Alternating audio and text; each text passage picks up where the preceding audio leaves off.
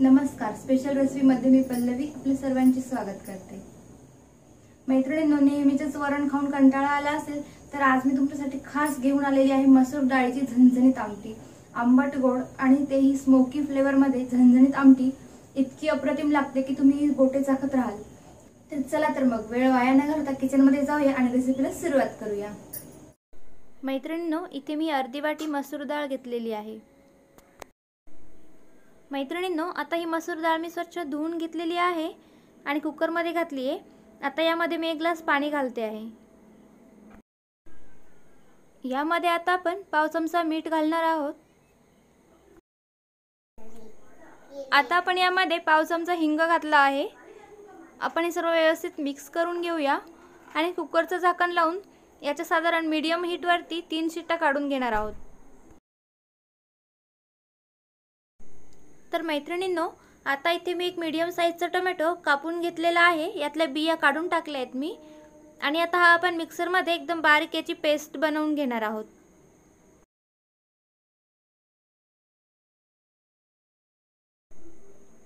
आता इथे कढई मी गरम करून घेतलेली आहे. तर आता यामध्ये आपण तेल घालूया.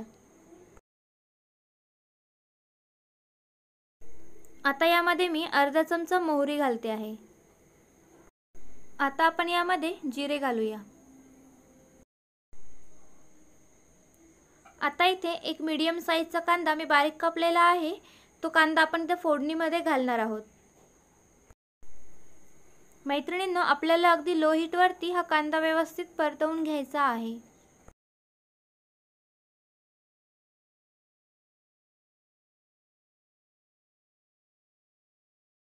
आपला कांदा आता अर्धा परतवून झालेला आहे. बघा तो एकदम लूज दिसतो आहे. आता यामध्ये मी हे बघा हे तेजपान घालते आहे. एक वेलदोडा घालते आहे. आणि हे एक अर्धा इंच दालचिनीचा तुकडा आहे. तो टाकते आहे. आपण हे व्यवस्थित फ्राय करून घेऊया. एक साधारण पाच ते चार मिनिटे. आता तुम्ही बघू शकता चार मिनटानंतर आपला कांदा अगदी व्यवस्थित फ्राय झालेला आहे. आता मी इथे ही जी टमॅटोची पेस्ट आपण बनवली होती ती मिक्स करते आहे यामध्ये. तुम्ही इथे आलं लसूण पेस्ट पण ॲड करू शकता पण मी नाही घालत आहे. तर तुम्हाला जर घालायची असेल तर तुम्ही या स्टेजला आलं लसूण पेस्ट घालून अगदी छान परतवू शकता. आता आपल्याला हे मिश्रण अगदी लो टू मिडियम हीटवरती साधारण पाच ते सहा मिनिटे व्यवस्थित परतवून घ्यायचं आहे जेणेकरून हे टोमॅटोमधील पाणी सुकेल आणि टोमॅटोचा कच्चेपणाही निघून जाईल. आणि जोपर्यंत कडेने तेल सुटायला लागेल त्यावेळेस आपण ही हीट कमी करणार आहोत. तुम्ही इथे बघू शकता आपलं मिश्रण अगदी छान व्यवस्थित परतलं गेलं आहे. टोमॅटोतला कच्चेपणाही गेलं आहे आणि ओलसरपणा जे मॉइश्चर होतं तेही कमी झालेलं आहे. आता यामध्ये आपण मसाले घालून घेऊयात सुके मसाले. इथे मी एक चमचा धने पावडर टाकते. अर्धा चमचा लाल तिखट. एक चमचा काळा मसाला घालते. मी हा घरगुती काळा मसाला आहे. तसेच मी इथे एक चमचा किचन किंग मसाला टाकते आहे. तुमच्याकडे नसेल तर तुम्ही नाही टाकलं तरी काही हरकत नाही. परंतु जर टाकलं तर त्याची टेस्ट अजूनच छान वाढते. आणि अगदी थोडी म्हणजे पाव चमचापेक्षाही कमी हळद घातली आहे मी ते हे मिश्रण आपण अगदी व्यवस्थित मिक्स करून घेणार आहोत आता. आणि लो टू मिडियम हीटवरती दोन मिनिटे आपण परतवून घेणार आहोत हा मसाला अगदी व्यवस्थित. आता आपण यामध्ये ही जी मसूर डाळ थोडी शिजवून घेतली होती ती घालूया यामध्ये. आवश्यकतेप्रमाणे तुम्ही पाणी वरतून घालू शकता गरम पाणी. आता आपण हे अगदी व्यवस्थित मिक्स करून घेऊया.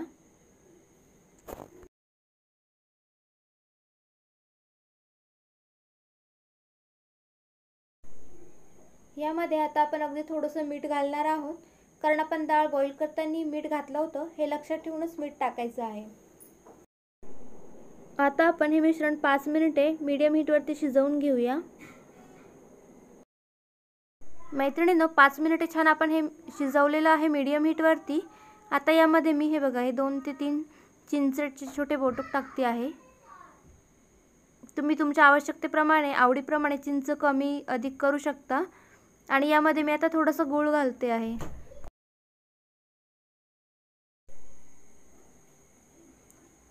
आता आपण हे मिश्रण अगदी व्यवस्थित मिक्स करून घेऊया. आणि आपण लो हीटवरती दहा मिनिटे ही आमटी अगदी छान शिजवून घेणार आहोत.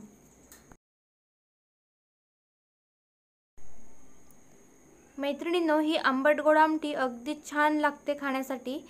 नेहमीचंच वरण खाऊन कंटाळा आला असेल वेगवेगळ्या डाळींचे वरणं खाण्याचा कंटाळा आला असेल तर कधीतरी ही मसूर डाळीची अशी छानशी आंबट गोड आमटी करून बघा अगदीच टेस्टी होते. मैत्रिणींनो दहा मिनिटे झालेली आहे. अगदी लो हीटवरती मी ही आमटी शिजवलेली आहे. बघा आता आपण तडक्याची तयारी करूया. त्यासाठी मी तेल गरम केलेलं आहे. त्यामध्ये थोडेसे जिरे घातले. त्यात लसूण घातलं आहे बारीक करून. आणि त्यामध्ये मी आता थोडंसं कढीपत्ता आणि कोथिंबीर टाकणार आहे. हे बघा आणि याचा हा तडका आपण त्या आमटीला देऊया. तुम्हाला हवा असल्यास तुम्ही यामध्ये हिरवी मिरची किंवा अख्खी लाल मिरची घालू शकता.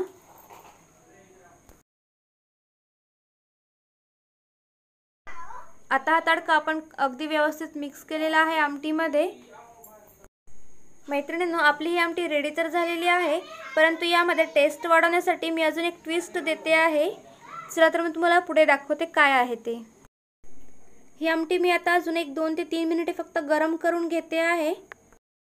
तर मैत्रिणींनो आता इथे मी हा कोळसा गरम करून घेतला या वाटीमध्ये आणि त्यावरती तूप घातलं होतं मी दोन चमचे. आणि ती वाटी मी ते या भांड्यामध्ये ठेवली आमटीच्या आणि वरतून झाकण पॅक केलं आहे हे बघा त्याचा तो धूर निघतोय. तो पूर्ण त्या भाजीला लागेल आपल्या आमटीला त्याचा फ्लेवर लागेल आणि ते एकदम हॉटेल स्टाईल एकदम ढाब्यासारखं स्मोकी फ्लेवरचं लागणार आहे आपली आमटी. मैत्रिणींनो हीट बंद केल्यानंतर मी हे सर्व करते आहे. आणि एक पाच मिनिटे आपण फक्त याच्यावरती झाकण ठेवणार आहोत. त्यानंतर झाकण काढून आपण ती कोळशाची वाटी बाहेर काढणार आहोत आणि त्यानंतर आपली भाजी खाण्यासाठी रेडी असेल. आता ही भाजी मी एका सर्विंग बोलमध्ये काढून घेते आणि मग तुम्हाला दाखवते. वाव तुम्ही बघू शकता आपली आमटी आता रेडी झालेली आहे. खूपच सुंदर दिसते खूपच अप्रतिम झालेली आहे आणि टेस्टही तितकीच छान लागते तिची. आणि त्यात आपण गूळ आणि चिंच घातल्यामुळे थोडंसं आंबट गोडपणामुळे त्याची टेस्ट तर छान लागणारच. प्लस त्यासोबत आपण थोडंसं त्याला जो स्मोकी इफेक्ट दिला आहे त्यामुळे त्याची चव अजूनच इन्हान्स होते. मैत्रिणींनो माझ्या चॅनलवर जर नवीन असेल तर प्लीज माझ्या चॅनलला लाईक करा सबस्क्राईब करा शेअर करा. आणि माझा व्हिडिओ बघितल्याबद्दल धन्यवाद.